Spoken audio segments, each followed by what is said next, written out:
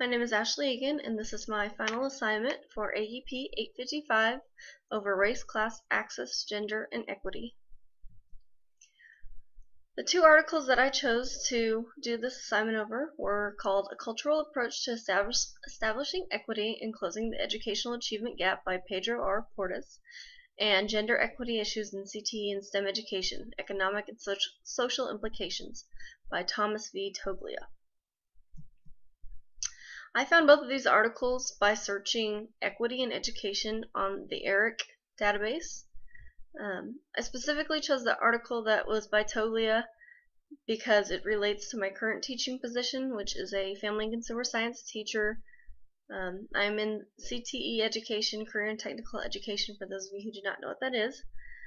And the article by Portes discusses closing the achievement gap, which has been a major theme at our school last year, considering that we are still having a lot of issues with um, getting our African American populations and special ed populations to where they need to be in order to um, really achieve uh, get that achievement gap closed. Summary of the first article, the cultural approach to establishing equity. Um, this one discussed the achievement gap and it states that it is not closing despite some of the reports that have been given by different groups. Most poor and English learning children become and remain at risk during the K through 12 period.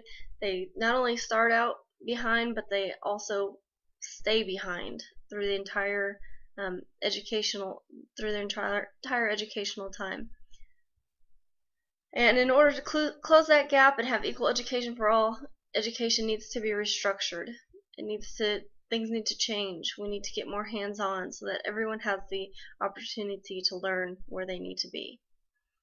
And in order to restructure, one of their suggestions was that we have to guarantee all children's right to learn at grade level. So that's the most important thing, is that they have to be able to be at grade level, not just constantly behind.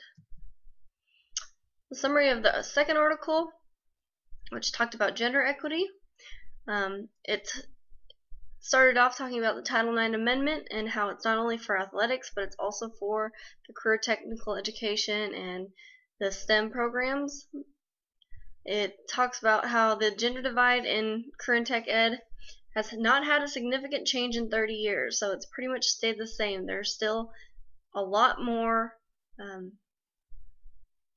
men in the fields of heating and air conditioning, um, construction, while girls are are the majority in cosmetology and fields like that. Um, gender role, socialization, parent expectations, and guidance counselors all contribute to women and girls' career choices.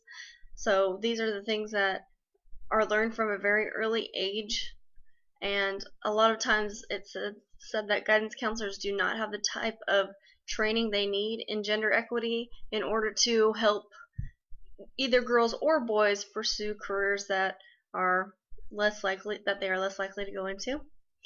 And like I said before, these uh, this gender equity is faced by men as well. Like men in the nursing field, there's not nearly as many men in the nursing field as there are women.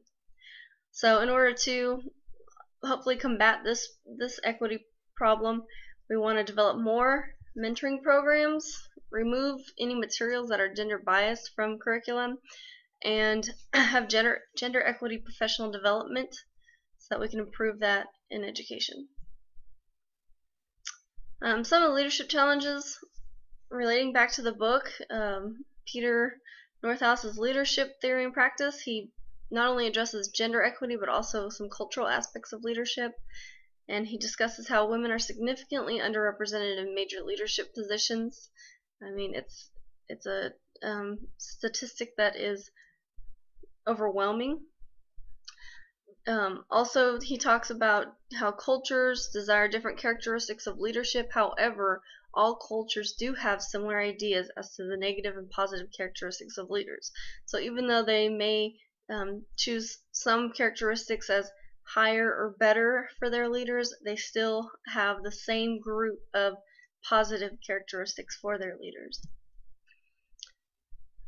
Not only that, but gender equity and CTE and STEM closely relates to those issues regarding gen- gender equity in leadership because women have been found to be no less effective in leadership roles yet are underrepresented underrepresented the same way that they are in certain career fields. Cultural challenges with students who are limited English proficient can lead to leadership inequity as well. We have that universally desired set of leadership qualities, so anyone can become a great leader if they are given the correct tools for learning and that we are able to get them at the correct level of learning. In order to address these issues, leaders in the classroom, because I am a family and consumer science teacher, um, we can put an end to these equity issues by changing the culture of the classroom, making it a more welcome and envir uh, welcome environment for all students. Um, we need to increase mentoring opportunities. I specifically think about um, the girls in my class and giving them the opportunity to explore um, different um, career paths instead of just, you know, because they're girls, they are going to take sewing classes and maybe become a fashion designer. That's that's not the way it should be. They should be able to explore anything that, that interests them. That goes right along with the providing career exploration activities and recognizing achievements, recognizing achievements of everyone, whether it's a little achievement or a big achievement, letting them know that eh, all their contributions to the classroom are important as well and just treating students equally, giving them fair opportunities within the classroom, and making sure that everyone feels like they have their own place in the classroom. Thank you.